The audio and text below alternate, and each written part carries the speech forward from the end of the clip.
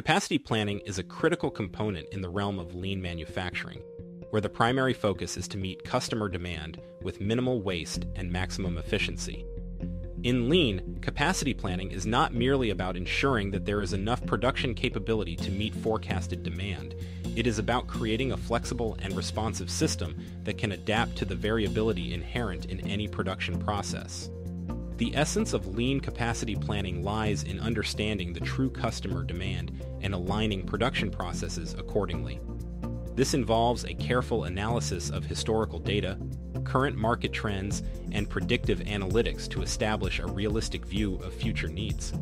The goal is to avoid the pitfalls of overproduction, which leads to excess inventory and increased costs, as well as underproduction, which can result in missed opportunities and customer dissatisfaction. Lean capacity planning requires a holistic approach that considers not just the machinery and output rates, but also the human elements of production.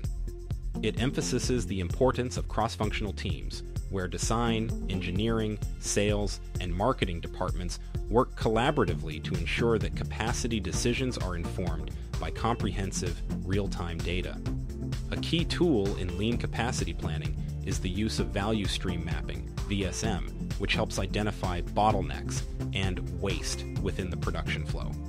By visualizing the entire process from raw material to finished product, organizations can pinpoint areas where improvements can be made to enhance throughput without compromising quality or increasing costs. Moreover, lean capacity planning advocates for the concept of heijunka, or production leveling, to create a more even and predictable flow of work. This not only stabilizes the production process, but also enables a more agile response to changes in customer demand. In conclusion, capacity planning in a lean manufacturing environment is about striking a balance between flexibility and efficiency.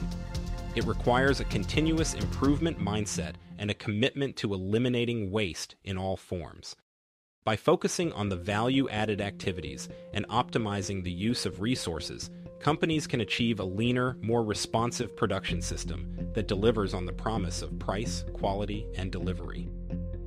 If you enjoyed this video, don't miss my next video on capacity planning.